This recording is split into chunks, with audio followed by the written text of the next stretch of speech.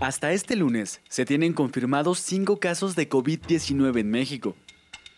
Uno de ellos en Torreón, dos en la Ciudad de México, uno en Sinaloa y uno más en Chiapas. La mayoría de los casos confirmados presentan síntomas leves. El caso de Chiapas es importante porque lo descubrimos a partir del estudio de contactos del caso de Torreón. Esto nos revela la capacidad del sistema de vigilancia epidemiológica en donde las personas aún sin eh, síntomas las estamos encontrando. Durante la conferencia matutina se informó que el COVID-19 no cumple con los principios para considerarla una epidemia.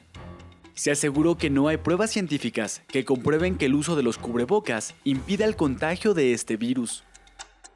Estos cubrebocas sencillos, eh, clásicos que se pueden vender en los supermercados, en las tiendas, etcétera, no sirven para protegernos. Entonces, que todo el mundo lo sepa, si yo me pongo un cubrebocas de estos convencionales, no me disminuye notoriamente el riesgo de que yo pueda adquirir no solo coronavirus, influenza, catarro común, metaneumovirus.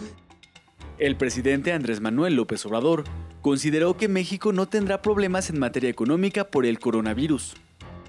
Creo que ha resistido nuestra economía, sobre todo el peso, aguantó eh, esta primera etapa de eh, propaganda sobre el coronavirus. Ha habido una depreciación, pero eh, estaba bastante apreciado el peso, resistió.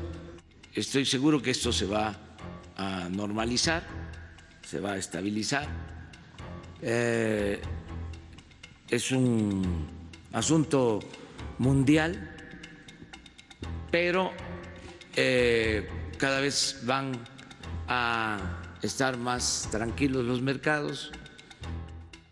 El mandatario destacó que en los últimos meses el peso mexicano se ha apreciado 3.55% con relación al dólar. Miguel Arzate Canal 14.